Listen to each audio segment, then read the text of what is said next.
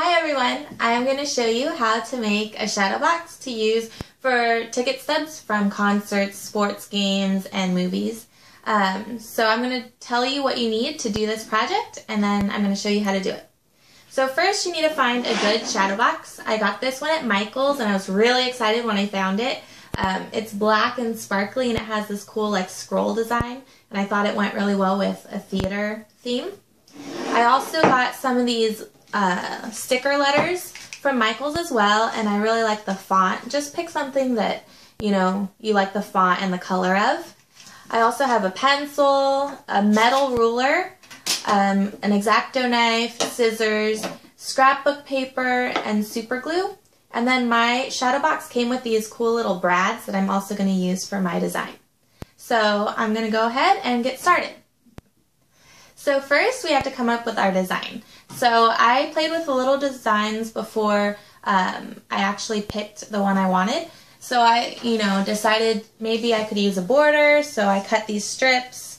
And then I decided maybe it's too much for my design. So, you know, just use your creativity and your imagination and find what works for you.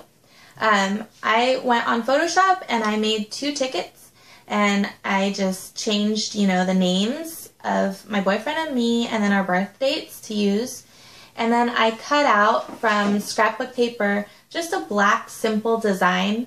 Um, I made it seven and a half by seven and a half and then I rounded the corners. So I'm going to use this right in the middle of my um, frame. So I prefer super glue. I'm really in love with super glue right now because it works with anything and it dries really fast.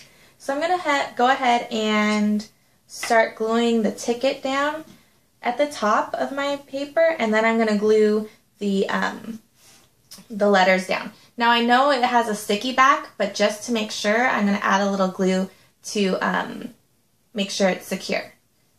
So I'm going to go ahead and start gluing some.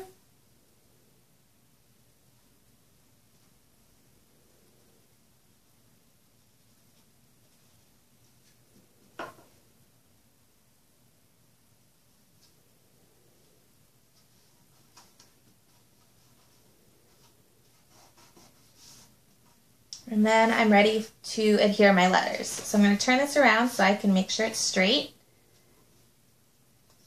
And I'm going to say admit two instead of admit one, just because this is for my boyfriend and I, and there's two of us. So I just thought it was a cute play on words. So I cut them out from the backing just so I could make sure, you know, to make them straight and have the correct spacing. So that's basically what it's going to look like when I get done. So I'm going to go ahead and start with my middle letter of admit and make sure that's in the middle first. So that would be the M. And I'm going to add some more glue just to make sure.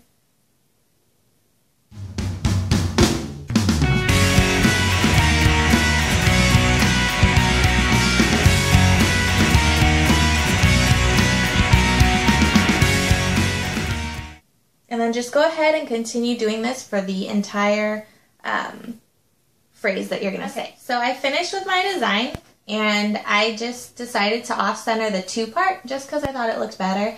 So just use your judgment and your creativity to find a design that works for you. So now um, I'm going to place it onto my board and I'm going to leave a, quite a bit of room at the top just because I have the scroll design on my frame and I don't want it to block my design. So make sure it's in the center. And then I'm going to use the brads that I showed you earlier to adhere it to my um, board. Now, if you don't have the brads with you, you can just use something like fabric glue or tacky glue, and I think, you know, that would work fine. So just go ahead and punch them in all four sides. And then you'll be ready for the next step.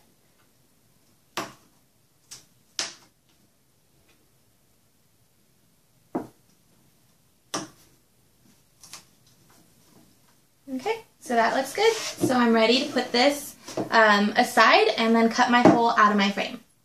So depending on what your shadow box is made out of. Um, you're going to need a couple of different tools. Mine is made out of particle board, so I'm going to be using the drill and then a jigsaw. If you're not comfortable with using power power tools, um, just go ahead and ask somebody that is to help you with this next part. Okay, so now we're ready to make the hole in the top of our shadow box. So first you're going to want to find the middle point. So my box is about 11 inches, so the middle point is five and a half. So I'm going to use a red Sharpie because my box is black, so black won't work.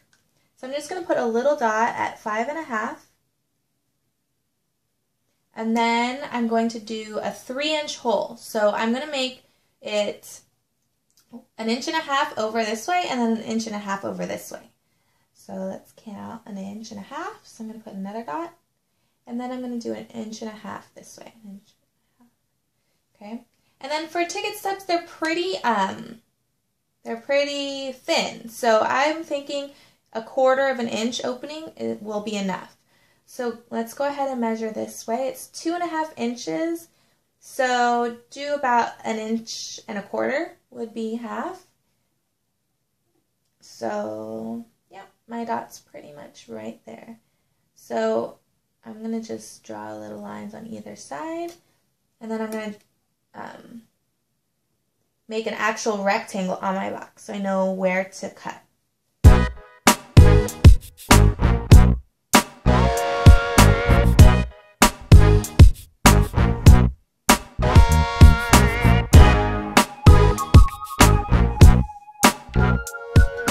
Okay, so if you can see that, I have a rectangle. You can go ahead and grab a cordless drill and drill some holes through the top. So I'm going to go ahead and get started. Make sure you either secure this so that it doesn't fall over or have a friend um, help you hold the base so it doesn't uh, move when you try to drill it.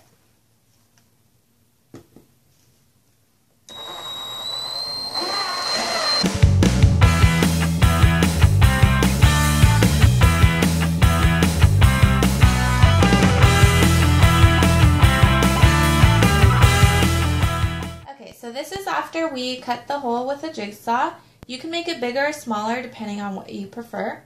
Um, I've decided that I'm going to paint the inside of the hole so that it's not as noticeable. So you're going to need a paintbrush and some black paint. Craft paint will do, it doesn't have to be anything fancy. Um, I'm going to hold a paper towel underneath it so that I don't get any uh, paint on my glass. So go ahead and keep doing this until your, uh, you can't tell anymore and it's all black. So I already finished painting the inside of the hole and as you can see you can't even tell that it's there. So it looks pretty good and I'm ready to assemble my shadow box.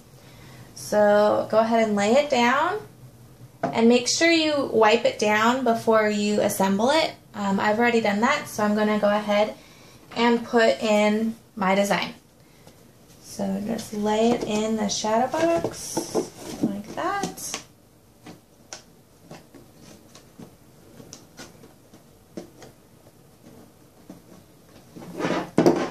And there you go.